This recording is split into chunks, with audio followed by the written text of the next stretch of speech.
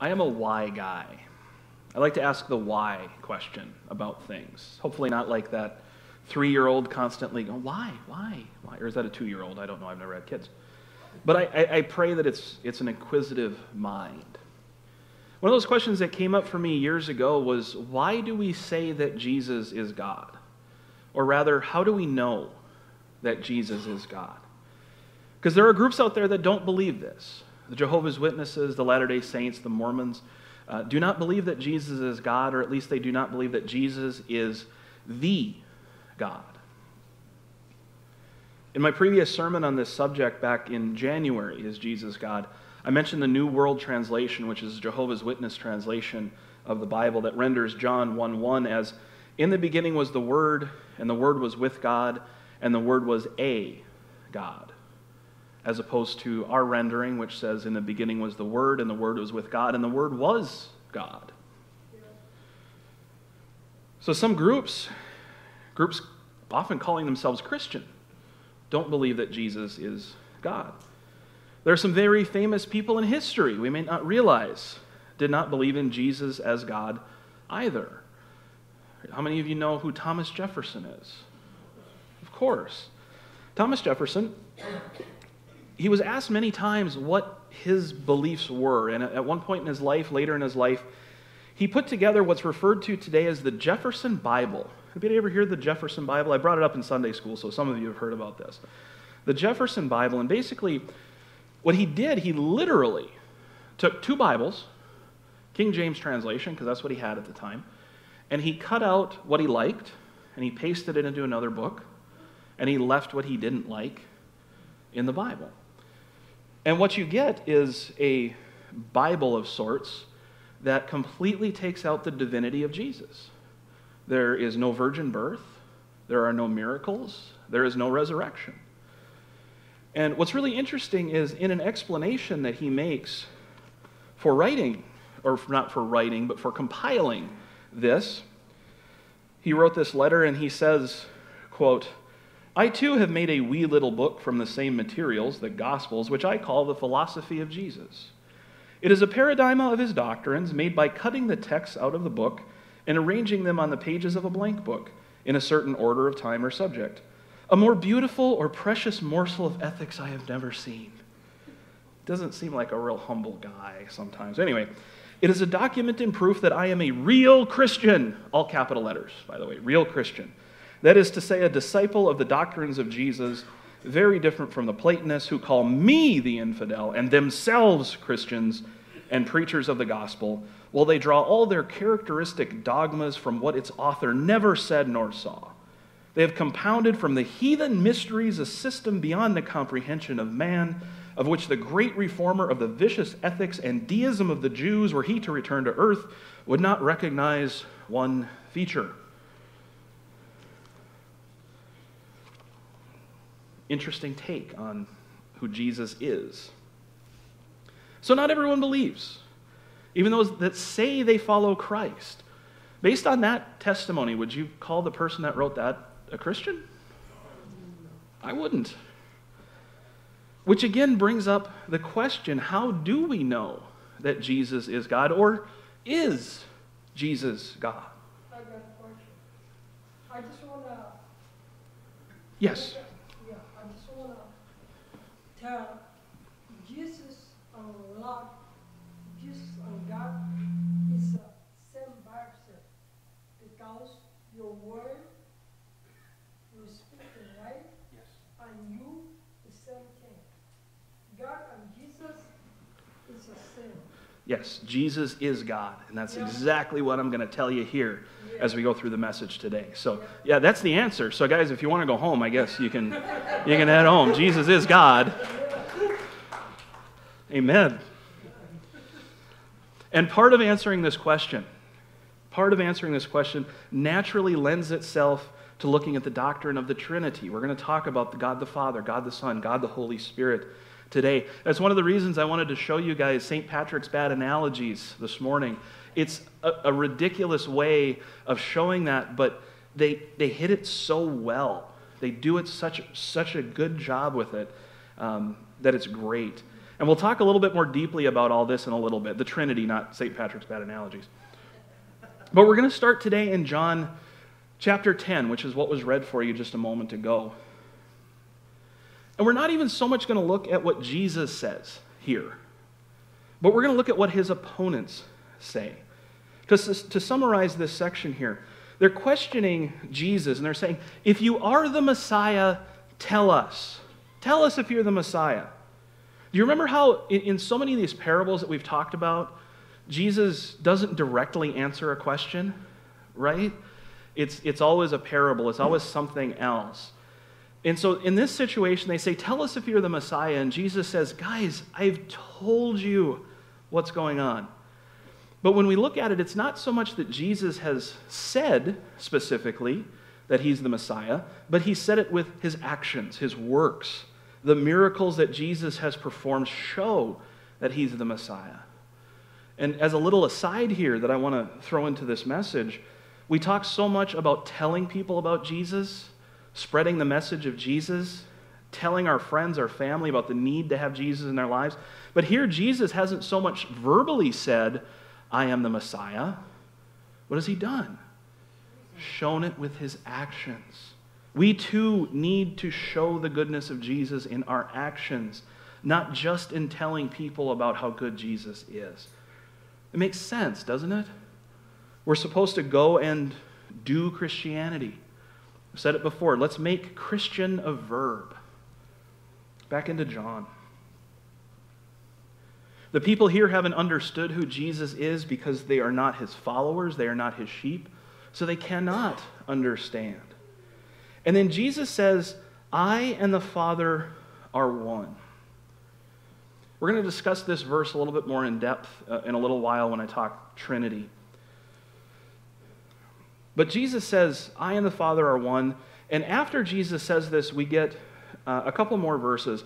And I'm going to use a different translation here this morning. I'm going to use the English Standard Version because this actually does a little bit better job with one part of what Jesus, or of what the, the opponents of Jesus says. So this is John 10, 31 through 33 in the English Standard Version. The Jews picked up stones again to stone him. Jesus answered them, I have shown you many good works from the Father. For which of them are you going to stone me? The Jews answered him, It is not for a good work we are going to stone you, but for blasphemy, because you, being a man, make yourself God. The New International Version there uses the phrase claim to be God. But a better translation is make yourself God. What's the difference here? Well, for one to claim that they are God is more of an internal thing. I can run around saying, I am God, but you're going to send me to Prairie St. John's for 72 hours and they're going to treat me. Um, everybody's going to think that I'm, I'm losing it, right? But to make yourself God, if you're not, is to demand others believe that you are and to treat you like a God. So the people that are there, the people that are ready to stone Jesus, they understand what Jesus is saying that Jesus is God. This is why they're going to stone him, is because he's saying he is God. There is no question that Jesus, through his words and his actions, is saying that he is God. And this happens a couple of other places as well. John makes this abundantly clear throughout, uh, throughout his gospel. John 8. Jesus replied, For if I glorify myself, my glory means nothing. My Father, whom you claim as your God, is the one who glorifies me. Though you do not know him, I know him. If I said I did not, I would be a liar like you. But I do know him and obey his word. Your father Abraham rejoiced at the thought of seeing my day. He saw it and was glad. You are not yet 50 years old, they said to him, and you have seen Abraham? Very truly I tell you, Jesus answered, before Abraham was born, I am. At this, they picked up stones to stone him, but Jesus hid himself, slipping away from the temple grounds.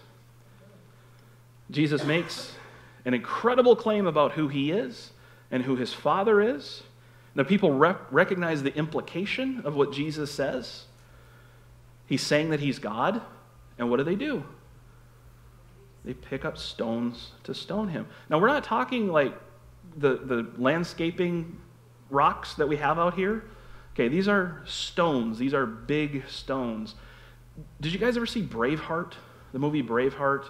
Okay, I should have got this clip, but I, I wasn't thinking about it. There's a scene in Braveheart where uh, William Wallace, Mel Gibson, comes back and he's standing across from his childhood friend.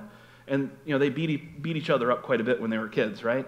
So he comes back and his friend picks up a big stone, like this big, to throw at him. And he heaves it and he completely misses him. Well, that's kind of the stones we're talking about. And then Wallace, being the smart guy, picks up a little rock and throws it and hits him in the head. But that's more of a, well, anyway.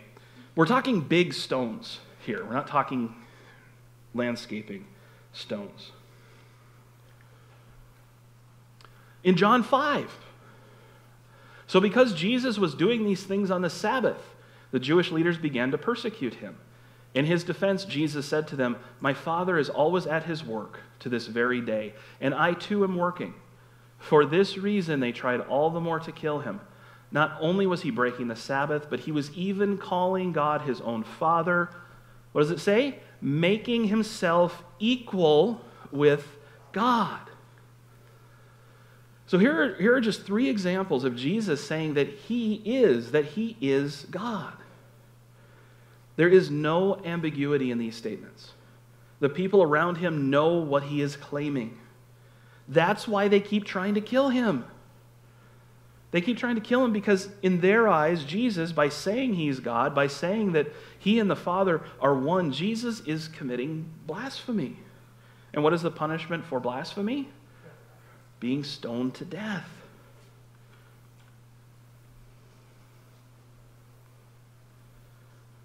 looking at this, it puts you in a place where you need to make a decision.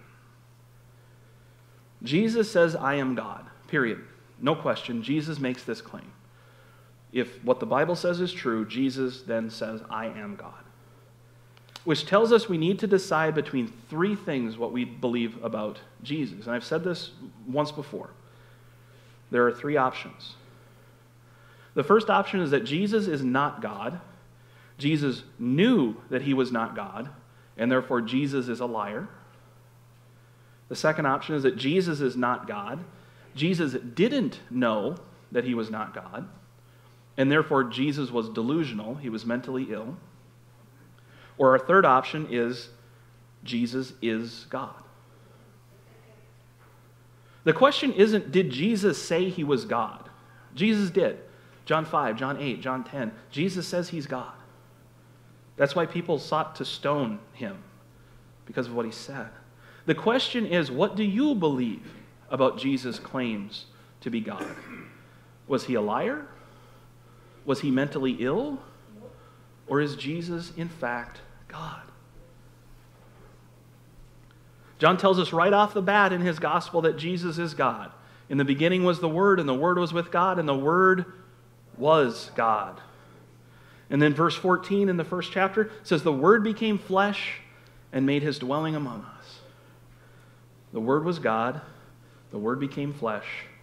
God came to earth in the flesh in the form of Jesus Christ. The Apostle Paul tells us that Jesus is God in his letter to the Philippians. In this section in, in, in the Philippians, he's talking about treating people right, treating others well. And he says, uh, in verses 3 and 4 do nothing out of selfish ambition or vain conceit. Rather, in humility, value others above yourselves, not looking to your own interests, but each of you to the interests of others. It's a reminder we need today, desperately. Treat others well. Why should we treat others well? Because Jesus did. Continuing on, in your relationships with one another, have the same mindset as Christ Jesus who, being in very nature God, being in very nature God, did not consider equality with God something to be used to his own advantage. Rather, he made himself nothing by taking the very nature of a servant, being made in human likeness. And being found in appearance as a man, he humbled himself by becoming obedient to death, even death on a cross. Paul tells us Jesus, being in very nature God, did not consider equality with God. So even though Jesus was God, Jesus is God, and could have said to everybody, Hey, I'm God. Treat me like God. You guys, come on, bring me grapes and stuff. I don't know. He was humble. He became a servant rather than being served. Jesus is God. Saying that Jesus is God brings up another question How? How does this work? Jesus is God, but he refers to his Father in heaven, and the Father is God. And I do want to say this before we start talking about the Trinity today. You are not going to understand the Trinity. You are not going to understand the triune God. Don't think that you'll understand this. What we're going to do is try to find scripturally how we know that God is three in one God the Father, God the Son, God the Holy Spirit. But I'm just going to ask you to believe. Understandably, we try to figure this stuff out. We try to understand how all this stuff works. We live in the 21st century. We have this whole process called the scientific method that has brought about incredible discoveries. Think of the things that we're aware of today that people 100 years ago, 250 years ago, 500 years, 2,000 years ago had no idea what was out there, couldn't have even imagined. The Hubble Space Telescope. You guys familiar with the Hubble Space Telescope? It has sent us some incredible images from around the universe that is sent back. 2,000 years ago, people couldn't have envisioned this was out there. How amazing is that?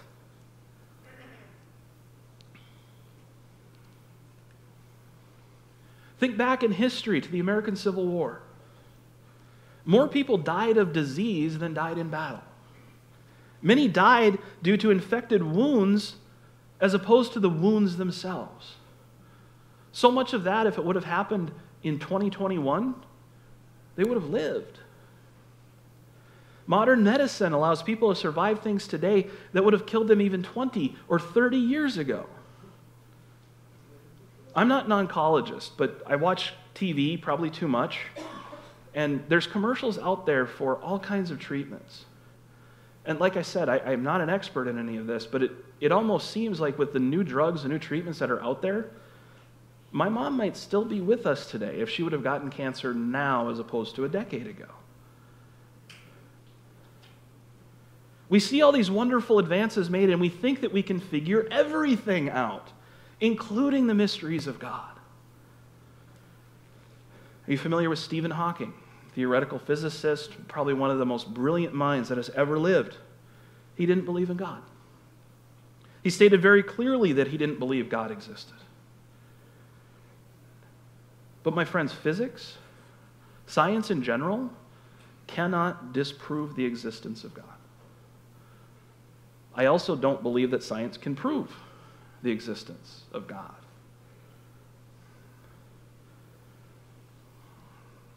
That's where faith comes in. One of those amazing things about God is that we can know Him personally through Christ Jesus. At the same time, we will never understand how God ticks, will we? We'll never understand those mysteries of God. And perhaps the greatest mystery that's out there is this mystery of the Trinity. Now, if you grew up in church, much like being told that Jesus is God, you probably heard this triune God thing God the Father, God the Son, God the Holy Spirit. And much like the mysteries of space or the complexities of medicine, we try to understand and explain the reality of God. So we come up with these bad analogies like we watched earlier. Uh, God is like water that can exist as a solid and a liquid and a gas. The problem with this analogy is that water cannot exist as a solid and a liquid and a gas in the same time, in the same place. But God is the Father and the Son and the Holy Spirit all the time. Then we'll say God is like a, peanut butter and jelly sandwich. You got, your, you got your peanut butter, you got your jelly, you got your bread, and it all combines together to make one sandwich, right? Well, God is not a sandwich. Simply adding three things together to make one other thing is not a way to explain our triune God. The Trinity is something we will not understand, no matter how much we may want to. We must accept that fact. But if we can't understand it, why should we believe it? If we can't understand it, why should we believe it? Well, my friends, it's because it's true. And the Bible tells us that it's true. Now, it may not be completely obvious as we read Scripture that God is, is three in one. Some of you may have seen this chart before, this visualization of what the Trinity might be. The Father is not the Son, the Son is not the Holy Spirit, the Holy Spirit is not the Father, but the Son is God, the Father is God, the Holy Spirit is God. Um, there's there's good things and bad things. I use this just as a quick example, but if you take a really quick look at it, you can almost think that there's God in the center and then there's three minor gods around God, which is not true. Um, keep in mind that the Father is 100% God, the Son is 100% God, the Holy Spirit is 100% God. I know the math doesn't work for us as humans. 100 plus 100 plus 100 equals 100%. Does that? It doesn't really add up for it. Um, but just keep in mind that's that's an idea of that. But it does get a bit of a visual if you are a visual learner uh, as to how this relationship works. So, how does the Bible tell us this?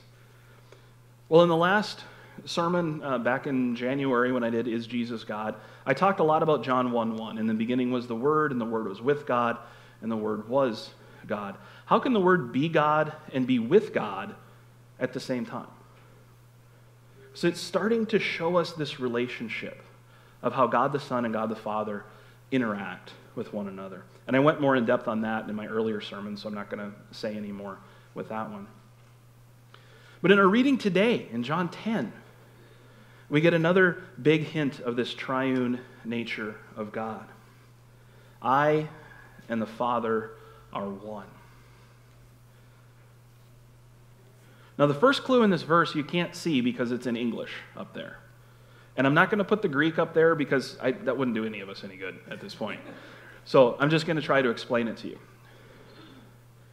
If you grew up speaking English, how many of you took a foreign language at some point in your life? Awesome. Um, in English, how many of you are familiar with the word the? You guys have heard the word the, right? I've, I've said it I don't know how many times. Just humor me here for a second. So we have just one word for the definite article, the, right? I went to the store. Where is the bathroom? Can you help me find the library?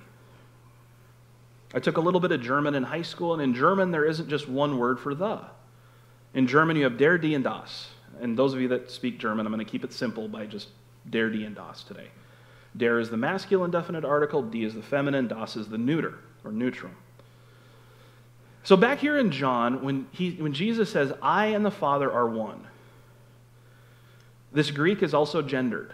Like the the in German is der, die, or das, or Dane, or dame, and whatever.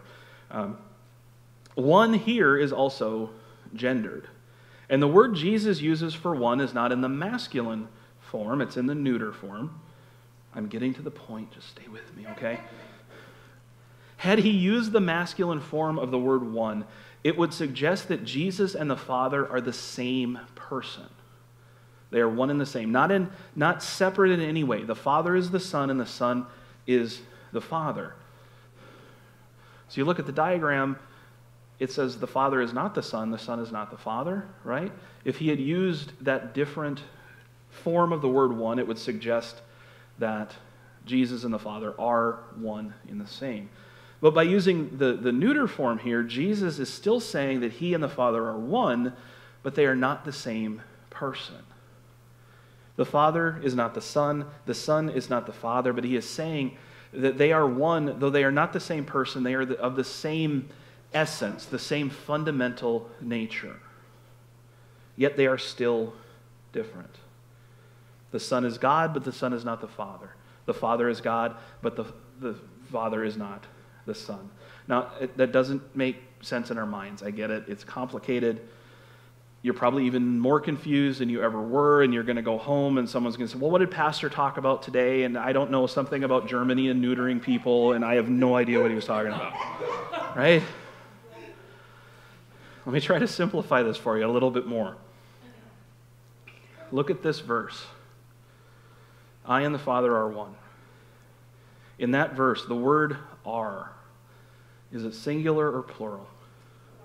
It's plural.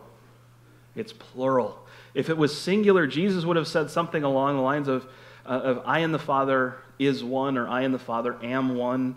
And it doesn't, it sounds weird to our ear, I know, but remember what Jesus said a couple chapters earlier. Before Abraham was born, I am. Right? Not I was, but I am. Jesus says that he and the Father are one. There is a sameness there but there is also a uniqueness between them.